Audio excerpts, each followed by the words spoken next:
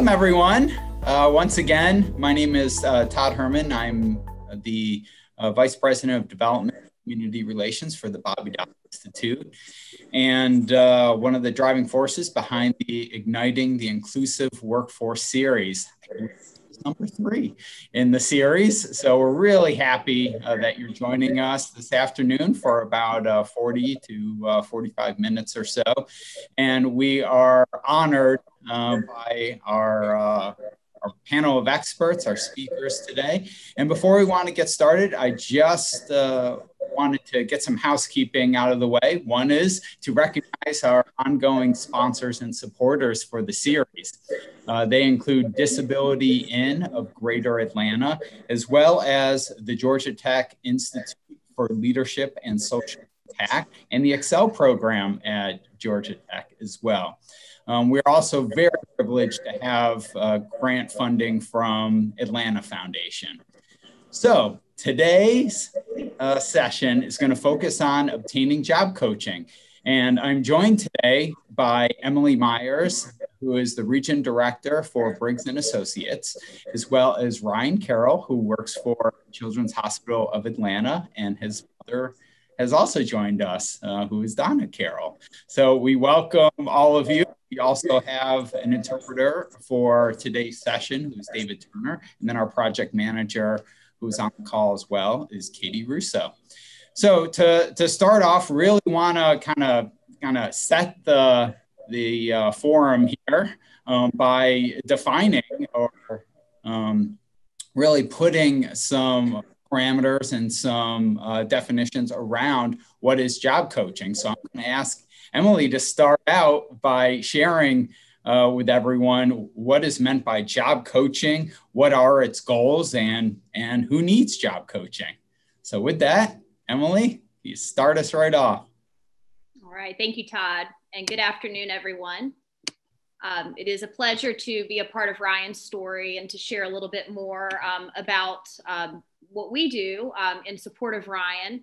Job coaching is a service provided to individuals with, um, in terms of learning duties, um, navigating the workplace, establishing interpersonal relationships with coworkers, uh, managing any changes that might occur throughout the career, uh, this includes identifying and requesting any accommodations that might be needed to ensure a successful match in employment.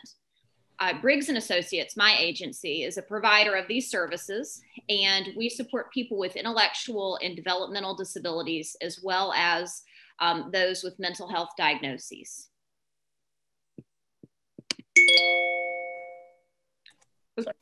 And uh, a follow-up question, Emily, would be, so what is the difference between uh, customized employment and then supported employment? There are two, uh, two uh, items or, or, words, phrases that are shared quite a bit. And so for the audience, you know, what, what separates one from the other? Sure, sure, thank you.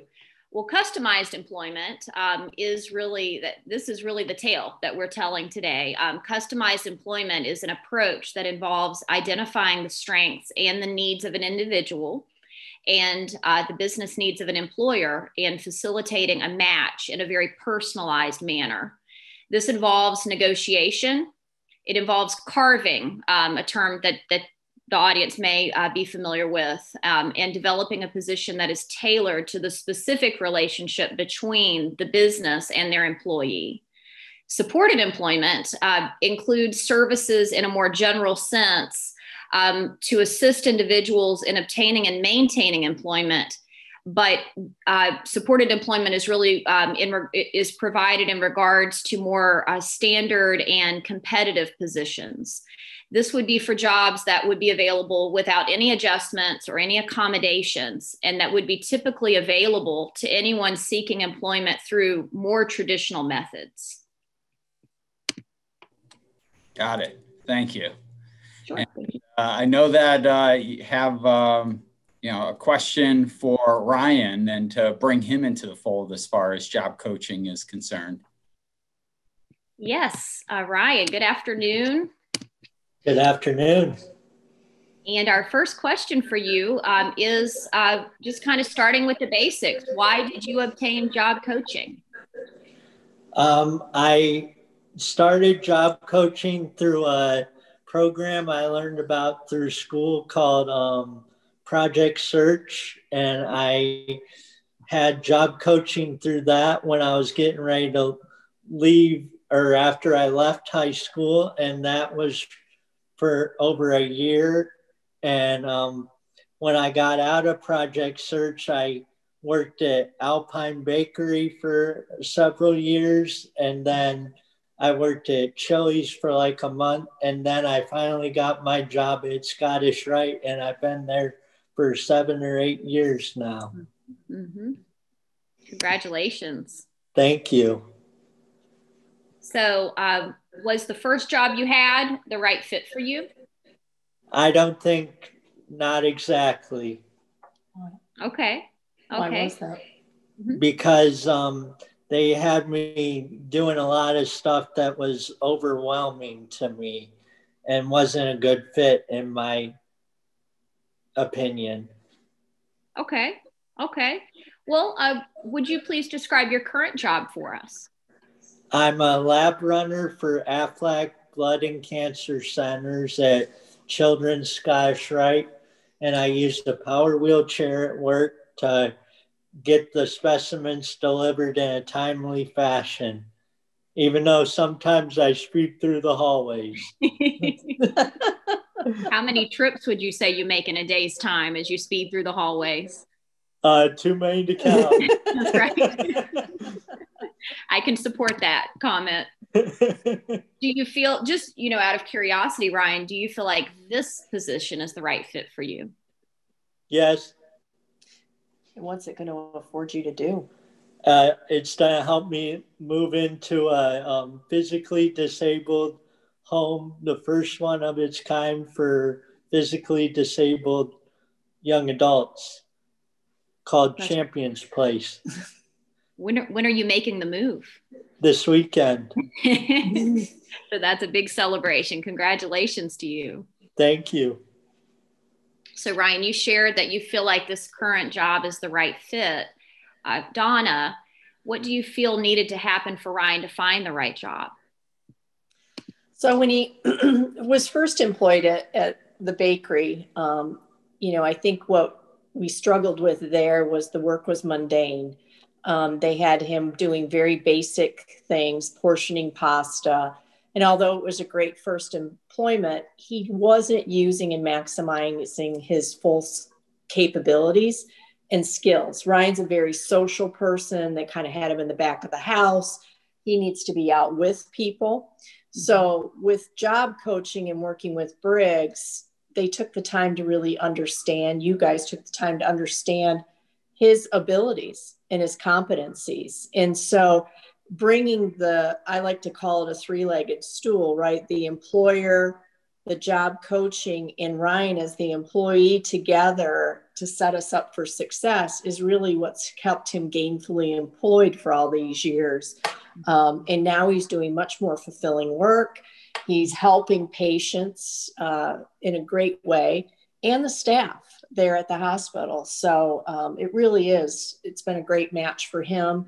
And he feels like his work is much more meaningful and he's purposeful in what he does. Yes. He truly is. Um, I did want to speak a little bit to uh, the fact that this position, as uh, I shared a little bit earlier, um, this is this was a, a customized employment um, approach where we actually uh, Briggs and Associates partnered with Children's Healthcare of Atlanta to identify a very specific need within the hospital. Um, the need at the time was that they needed someone who could take various specimens from the clinics back to the hospital. Prior to Ryan serving that very important role, they had nurses and phlebotomists and lab technicians running the items. And so for every minute they spent uh, what did you say ryan tearing through those hallways? Was a was a minute that they, that the staff were not with the patients which was their purpose. And so Uh, they found they felt that they had the wrong staff delivering the specimens. The length of time it took was causing a delay in terms of patient care, and um, it was really impacting their overall services in, in such a negative way. And so they uh, identified this need and and we worked closely with them on the carving and um, developing of the job description and then um, actually going out and identifying the best candidate who is with us here this afternoon. It was ryan. He was the one and so he was um, you know had he was uh, best suited based on his strengths and his skills and his interests. Since that time ryan's role has been um, has proven to be so beneficial to the hospital that even in light of covid and in light of um, some some changes that they have made as a part of restructuring in their system um, they actually rallied and um, and and took it upon themselves as, as, a mission to find the funding to keep Ryan's position in place. And um, that started with the clinics, and it went all the way up to administration and human resources. That the position was so important, they needed to keep his position in place. So. Um, that's just another celebration, and it really speaks to the value that Ryan brings to the hospital. And Emily, going off of your customized employment that uh, Ryan ended up using, we actually had a question from the audience. Okay. Is there any set of criteria that's needed to use customized employment for a participant to do this? Well, um, customized employment, it, it's really it's it's the most effective approach for someone who is not an obvious match to a traditional competitive position. So, um, just as an example, it might be for someone who wants to work in the hospital, but they might not have a medical uh, medical training, you know, per se. They might.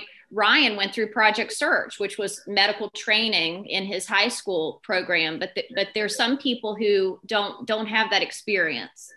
And so customized employment is a way to pull out the parts of the job that might not be a fit or that would otherwise be a requirement for that position. And to um, kind of in exchange to that make the candidate an appropriate fit. Uh, it does start with a process called I well ideally it begins with a process called uh, discovery and profile discovery is um, 40 to 60 hours spent with a person really learning that about that person who they are at work outside of work. Um, it can be a very formal process or it can be a more informal process which is is what uh, briggs and associates did in the case of, of serving ryan. Over time we learn what ryan liked to do and what Ryan didn't like to do. And it was always fine to know what Ryan didn't like to do. This is Ryan's life. So we learned what fit and what didn't. Um, we learned what Ryan needs to be successful. We learned we got to know Ryan's close support team and and receive feedback from them on what would be best for Ryan. Um, and then we use that to match with the needs of the business. So that sort of process, I would say that um, building that relationship and digging deep with someone is really the key. And uh, the agency really needs to have the the ability to do that. Um, and the individual, um, you know, in Ryan's case, would need to um, to to share preferences and skills and strengths. You know that i think that would encourage anyone who's interested in customized employment to be very vocal about what works and what doesn't. Excellent. And you mentioned earlier carving just for those online that don't know what that is. Do you mind giving a quick um, summary? Sure. Um, carving is looking at a, an established position and pulling out pieces or adding pieces to uh, to adapt the job to the individual, to the needs of the individual. So, an example of this with Ryan, I think, would be Ryan, um, when you first started work at CHOA, there were some parts of the job that were not an easy fit for you, more than likely. Um, I'm even thinking about the way the specimens you were logged in, for example, when you when you collected them and reported back to the lab. So we just developed a, a, a, particular form that Ryan would use that was a better tool for Ryan. um, that's carving. It's just it's customizing little pieces of the job to make it a fit, rather than those pieces being a barrier. Excellent, thank you.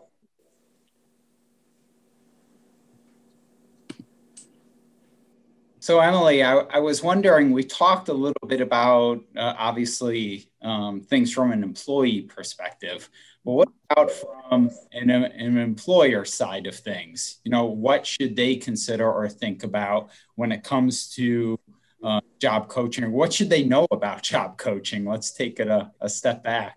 Sure. Sure. So we just, we're very, um, we're very clear and and and very upfront about the fact that this what we do is not business as usual um, we're not expecting it to be. And i think that sometimes from an employer standpoint that's a little bit scary um, to be stepping outside of um, you know what's what's normal what's typical. Um, but we are really able to address the employer's needs by thinking outside of the box and doing things in a different way um, really in doing that we've also found that employers are able to address needs that they might have had for years and they've been trying it that same way. You know in ryan's case those nurses had been delivering those specimens for years before ryan was there um, guarantee you, if you walked into the nursing unit and asked, what is the toughest part of your job? They're probably going to say it's when those specimens pile up and we need to run them to the lab to get our patients care. You know, that's not what they went to school to do. And, it, and it's really not their, mo- their main focus. So um, we just ask employers to, to have an open mind and to know that while it's not business as usual, it might be that needle in a haystack solution that they haven't found yet. Um, this, you know, what we do really includes making changes in various steps of the employment process, but we're here to level the playing field and to ensure a mutually beneficial relationship between the employee and the employer. The other thing I would say um, is that we really, we're all about independence right now, Ryan um, is completely autonomous in in all parts of his job from a day on a day-to-day basis. And he knows that if he needs help with something we're just a phone call away. And and that's what we want. We we, we really almost want to make ourselves obsolete from the very beginning. We start fading. Uh, we start building people up uh, connecting them to natural supports on the job and um, in our job kind of our focus is to be sure that they can be as independent as ryan is knowing that they always have support available. Whether it be ryan has support or the employer anytime a new need shall arise.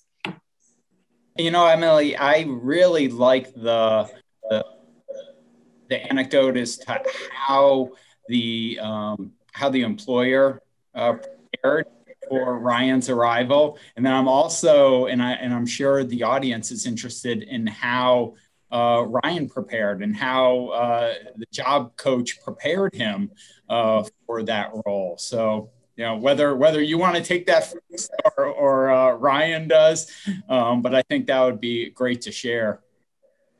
I'd like to suggest that Ryan give his um, Ryan. Can you can you kind of recall say the the interview and maybe the the days leading up to your job and then your first day on the job? Do you remember what that was like? Not really no.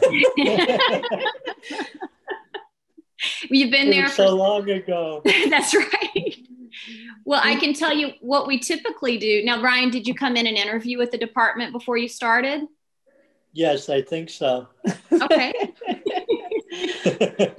it's it been a like, while, hasn't it? Yeah, it, it has. has well, I remember some of it, so maybe I can. I mean, um, so I know that uh, when we were making the transition, um, Emily, you had reached out, and the team had reached out and talked about what the opportunity was at uh, Children's with AFLAC. And we presented it to Ryan to see if that was something he'd be interested in. And um, then you guys prepped him for the interview. He had to go in and go through an interview process, um, just like anybody else would, so mm-hmm. that they could get to know him and he could get to know the environment. Um, and then we've witnessed, just like you said, the job coach is there as much as they're needed, but not there to um, stifle mm-hmm. or to hover over Ryan. He is there to be as independent as he can be, but like you said, has access to resources to support him. And mm-hmm. over time, I mean, being there as many years as he's been there, he needs less and less of that support. But there is continuity. There's those check in points, making sure things are going well. There's a good feedback loop. So if there is that coaching, which we all need, he's getting that so that he can get better um, and, and possibly even take on more. And um, it's it's just been, like I said, a great partnership for us in helping him to be successful. Anything Ryan. Else? Go ahead. Yes, Ryan. definitely. well, in the part that Ryan that you might not have seen because it happened before you came into the hospital for the first time, but um, in your case and in any case when we're uh, doing customized employment with an employer is we present you know we've we've heard we heard the hospital we heard what their needs were. Uh, we developed that position and then when we came back and, and spoke about you we said this is the man for the job. He and, and here's why. Here are the things you need to know about him. And we matched up each one of your strengths and your interests to every one of their needs we said that you would be able to take care of the job that you would be quick you would be reliable uh, you would be friendly very friendly with the staff. You see probably hundreds of people a day thousands maybe by the time all is said and done um, going through that main lobby. It's it's just unreal how many people you interact with and um, how many people in the hospital know you by name so we knew that you needed to have the personality the ryan carroll personality to be able to fill that role. Um, and now years later you are really the you're the most popular guy in the hospital because you're taking care of the needs of the hospital and you're covering you're covering some distance in a day's time. We knew that you had all of that to offer and so when you came into the interview while you might not have said that in the interview because you weren't as familiar with their needs they knew that you were a match they wanted to meet you for themselves they agreed that you were a match um, what we did in Ryan's case, because Ryan doesn't just have one, he has a home base, but he goes out to the clinic. Um, so Ryan really two separate sets of uh, coworkers. And uh, each one of those sets, whether it's in the main lab or the clinic that he serves, everyone needed to know who Ryan was, what his responsibilities were, what they were not, what they could not ask him to do because that wasn't part of his job. Um, they needed to know what to do if Ryan is having a good day, what to do if Ryan's not having the best day, because that happens with everybody. And they needed to know that coming in. Um, over the years, Ryan has made friendships and people have learned more about him and how to support him as needed, which is how we've been able to fade back to giving more independence. So, all of that communication is key to, to laying the groundwork to a successful career like the one that Ryan has had. That's great. Uh, thank you both. It's great. Uh, great, I guess, reminiscing and recall. Yes. Sorry to jog the memory so much, Ryan. Uh, I had a question come in, and I think it's in line with the next question I had in, in my mind, which was, um, you know, we talked about what job coaching is. And so I'd love to have um, you address, Emily, maybe what job coaching isn't, some sure. assumptions that people may have. Um, and the question that came in is how long does the job coach work with an individual before they can work independently? So, you know, maybe, maybe ta- tackle that question first and then go into what job coaching isn't. Um, so sure. take it away. So, um, yes, thank you for the questions. Um, the job coaching in terms of a new job is based completely on the person so you know it's based on how quickly they are they, they learn the tasks um, how quickly they're they're able to build up a comfort level with their new job. We it's not an all or nothing arrangement. We fade little by little. Like we might leave while the person's on break for the very first time and then come back at the end of the break you know or come 30 minutes late or leave 30 minutes earlier. Kind of be strategic about when we're there and not there um, and it's really done as we put pieces in place that take um, put in pieces that take our place. So if if we have um, if the person just as an example needs a reminder to go on break at a certain time well we get close with one of the coworkers and say hey if you notice that he didn't go on break at a certain time can you just remind him? It's just a simple um, simple change that allows the coworker to give the support rather than the career specialist which is the title we use for a job coach our services never end so once the person has learned their job and the person is independent we check on people at least once a week if that's their comfort level if someone would like more, we can uh, arrange for that. If someone wants less, we can arrange for that. But, you know, in Ryan's case, we've served Ryan, I'm going to say for about 10 years or so as a just an estimate. We're here for Ryan's career and and Ryan's job has changed over time. His coworkers, his managers have all changed over time. There've been some some additions and some subtractions. So we try to stay very consistent as a part of his team so that he can uh, have uh, the support that he needs when those adjustments are needed. Um, that was the other question. Um, how long? And I'm so sorry, I can't see the other question. Yeah, how long uh, does the job coach work with an individual um, before they can work independently? And then um, the costs that are involved. You know, who pays for job coaching was also a question that came in. Sure. Um, well, the costs for most of the people we serve are covered through um, fund. Uh, in some cases, it's through waiver fund, Medicaid wa- waiver funding. In some cases, they are funds that are provided through either the Georgia Vocational Rehabilitation Agency or GVRA or through the Department of Behavioral Health and Developmental Disabilities. They are um, long term funds and support for the career, and they are of no cost to the individual or to the employer. Great.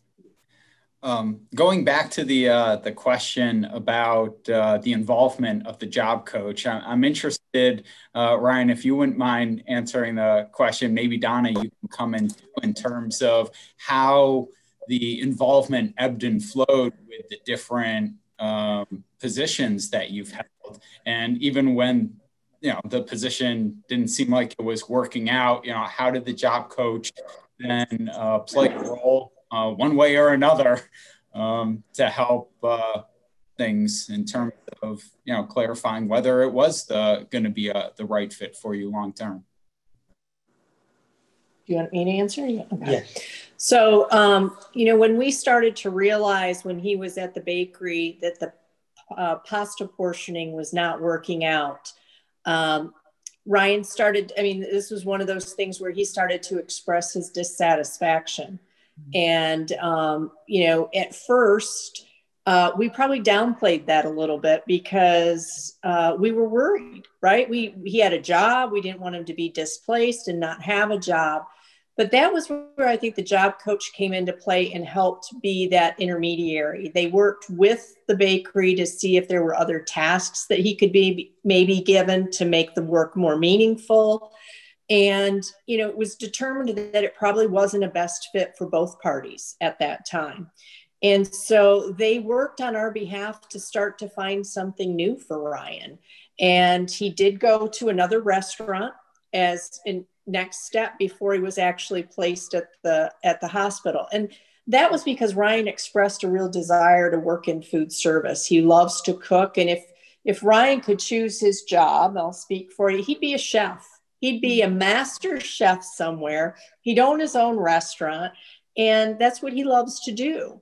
But his his disability prevents that, unfortunately. But now he's in work that he can enjoy because we've taken the things that he likes about being potentially in a restaurant the social aspect the helping people the serving people and we've applied that to the work that he does at children's and so Um, they were very heavily involved in that situation. Again, when we determined it wasn't a right fit, they worked to try to find uh, resources or uh, different uh, opportunities, and then they helped us seek new employment.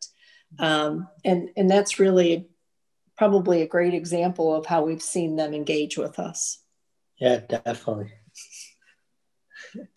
And that's the value of the long term support. So while I'm talking about fading and independence, we also know that, you know, one day Ryan may find an opportunity that strikes his interest and and he may have that chance to put on that chef's hat and and find a way to be in that in that capacity who knows? And and that's that's that's life and that's what a career looks like. You know people don't you don't come out into the world knowing exactly what you want to do. No one does. So we we understand that someone you know ryan has loved his job for years and they love him but he may someday choose to make a change. And if he does he knows that he has a team who really know him well and support him and can help him with that next step if ryan chooses to stay at choa through retirement i know choa will be very happy about that and I also know things will change at CHOA. There will be new managers, new coworkers, clinics move, all kinds of things change. COVID happens. You just never know.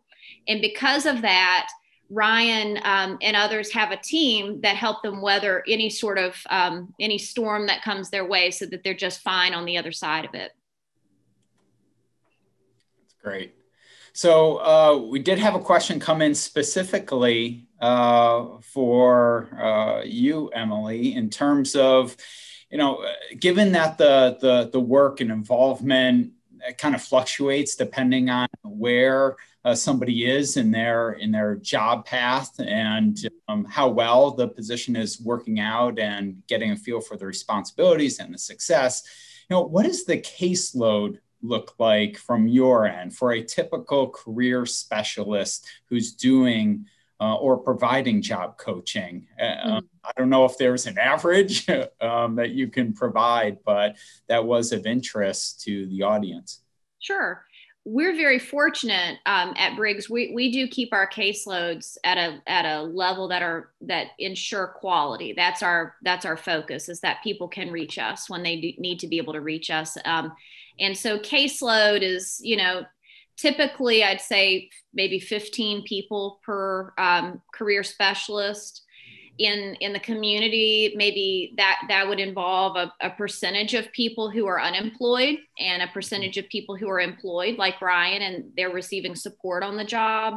Um, and then, you know, again, things change. Someone who's employed may decide they want a different type of job. And so um, we really we really you know keep our focus on each person we serve. And and if we start to see things the way you know donna described that maybe there's some red flags that come up or some concerns that the position might not be the right fit um, we we start looking for other things or we start to consider the person as a as a candidate for other things that we develop um, just in general. So Mm-hmm. just like everything else in this job it varies but that's a very frustrating answer so that just gives you some a little bit of uh, data that we could probably quantify mm-hmm. i will also say as a team we there are eight of us and so and just we break our teams up geographically and so the team that supports ryan has that many members if Ryan's primary career specialist was out for any reason, I would be an automatic backup. Um, we actually and we have the the privilege that um, even a, a, person or two I think that worked with Ryan in the past would be available to call upon as needed. So we just try to keep people in the loop and keep people in the team and always have a good backup just in case. Great. And uh, there are there are a couple questions that have uh, additionally come in. I think one that I can uh, take and we can tag on a little bit, um, sure. which is so does uh, you know what organization or other organizations out there that that help potential employees and individuals get funds from organizations like uh, DBHDD and and uh, GVRA and uh, and help with the Medicaid waivers and Bobby Institute is is one of those yes. um, that we provide that benefits navigation and really help with um, what what can be um, a, a, you know, a process that uh, can look like years to some people. And we can shorten that down in terms of securing those Medicaid waivers um, and providing support while individuals wait. And then the GVRA and, and working with them and DBHDD, that's something that we do. But um, Emily, is that something that Briggs and Associates gets involved in as well?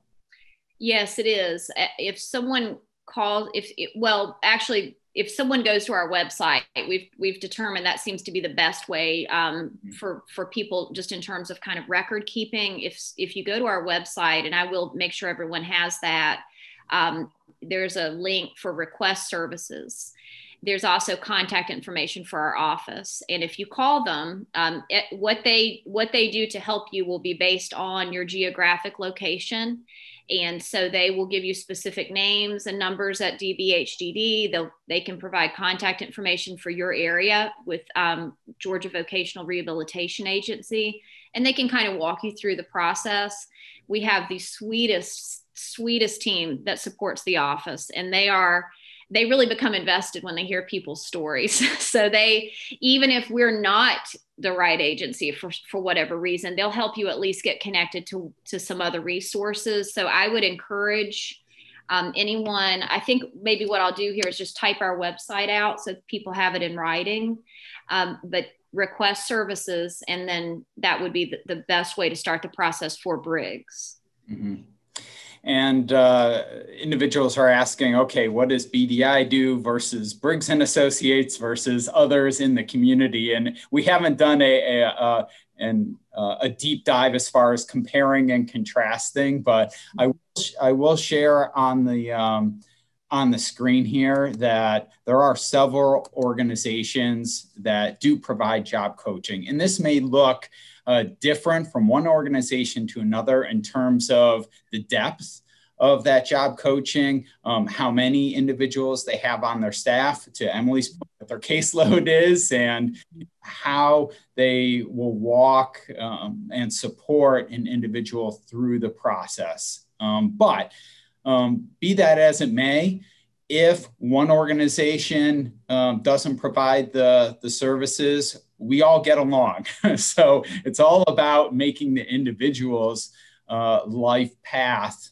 um, easier, smoother, and help them through the employment process, um, any type of empowerment services that are necessary. Um, and there are different differentiators between the, the different organizations.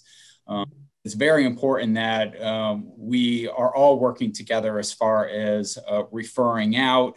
And all of these organizations you can uh, find through their websites.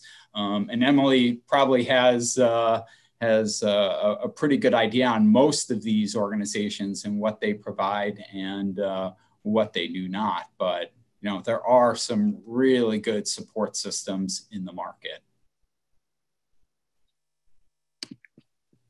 Yeah, and I, I think that um, absolutely it's we're lucky to live in the area that we that we live in because there are so many providers and we hear from places outside of Metro Atlanta and um, you know that that don't have the choice. So uh, it, it's wonderful to have choice. I would recommend people call and see which agency best fits uh, what you're seeking. Um, just to share a little bit about Briggs, we um, we're you know we provide supported employment as our sole service, and so. Um, for someone who is looking exclusively at employment in the community, um, we don't have a facility of any sort. We're based really in in the community on job sites Uh, we're we're out networking with employers, really feet on the ground, um, looking at um, both competitive and customized employment opportunities. Um, our agency actually, we're very excited to say that we've just celebrated 30 years in business and um, we serve now we started with one person um, our company was really founded to serve one specific person which is a pretty cool story um, and now we serve a base of uh, about 900 individuals and and over time um, have had the opportunity to serve over 3000 people in 30 years um, we have the philosophy, we operate on the philosophy that anyone who has the desire has the ability to be successful in the workplace. We have a, a no refusal, no discharge policy. Um, if someone wants our services, if they meet the criteria um, that uh, based on either having an intellectual or developmental disability or a mental health diagnosis, we believe that person can work and we will find uh, their place in the community. Um, the zero discharge uh, policy just simply means that we are here for the journey and we understand that the people we serve may not make a straight shot to the dream job. Uh, we're here for for the ebbs and the flows um, in that person's life, and uh, and again, everything that we do comes back to matching the right person to the right job. Um, CHOA, the CHOA story, I can't say enough about it. Um, healthcare is a, a, huge industry in terms of partnering um, in, in, with community employers, and CHOA specifically is one of the largest employers of, of people with intellectual and developmental disabilities in the in the world. So, um, what a great place to work, and what a great story, Ryan. Um, again, just couldn't be prouder and, happier for you and, and all that you've accomplished, and uh, what a place to have a career. So thank you so much. Absolutely. and we're so excited for uh, for your next step and moving into uh, the champions place too. That's wonderful. Thank you. We are too. you get to have that first pizza night in your in your new place. Yeah. With all your friends. That's right. Great. Um, so, Emily, one other uh, question that has uh, come in um, has to do with the pandemic and specifically what additional supports, uh, job coaching has been necessary uh, during you know the last eight months or so that you know maybe wasn't uh, a regular function or wasn't as prevalent uh, back in in January. Great question. Um, so, of the nine pe- 900 people we serve, we had we were down to about two thirds of the people in our services were furloughed, it, either voluntary or employer um, choice or laid off. I mean, it it really struck the people that we serve in a hard way, just like everybody else. So, what we did during that time and what we continue to do is we maintain relationships with employers. Um, we helped with keeping contact for months and months while people were out of work. Uh, we, when it was time for people to come back to work, you know, I think we, we kept a, a politely persistent presence. I like that. Um, just to stay on the radar with the employers so that they didn't forget about all of the employees that they had. And, and, and we made sure that the people we serve were at the forefront of opportunities to get back to work if they could do so safely. Um, then we were present for that. So with each person, we would we would come onto the job site. We would assess for any safety risks or concerns. We would work on. We would wear masks. The individual would wear a mask. We would work on what six feet means.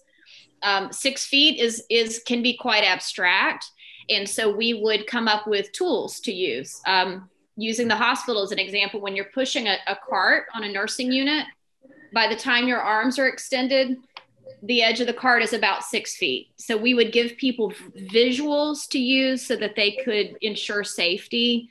Um, then we would start fading back and kind of watch from a distance to be sure people were using the sanitizer and the hand hygiene and, and all of that. And we continue to do that. Um, the other thing we do is we are well aware of um, the fact that the essential worker positions carry inherent risks to to anyone in those roles and so we're really working side by side with people who might have worked at the front of a grocery store or in a restaurant and help them find jobs that are less public facing.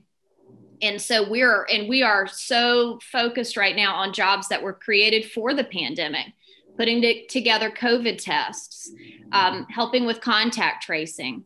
There are um, new positions needed for you know sanitizing carts and and and giving out masks at the front door of businesses and things that didn't exist before but now they're new opportunities but safety is always at the forefront of that Absolutely. Thank you.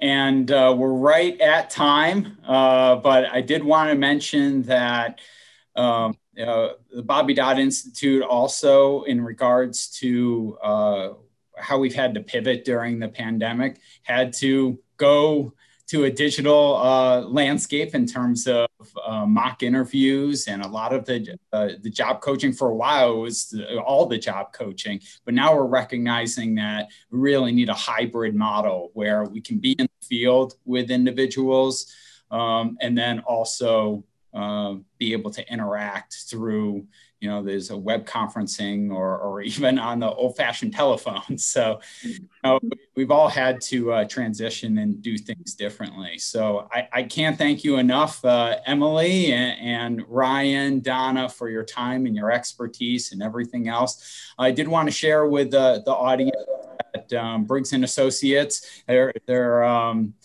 they are well versed in the greater Atlanta market here to serve. So I do want I want to sp- speak for you a little bit about Emily, and same thing with Bobby Dodd Institute and many of the organizations that were shared as additional job coaches in the market uh, serve area and, and, even further out. So once again, there is no wrong door, um, but it's important to take advantage of uh, the services offered there for job coaching. Um, they're they're valuable and can be completely um, difference makers in terms of the right fit and ongoing job performance, satisfaction, and success. So, with that, I just wanted to lastly share that our next uh, session is going to be November 4th. Uh, we're going to have a, a, great time talking about uh, post secondary education options. And we have a, a wonderful group of speakers uh, for that session. So, with that, I'll say thank you again. Thank you for everybody attending. We'll see you November 4th and uh, have a wonderful rest of your week. Thank you. Thank you. Thank you.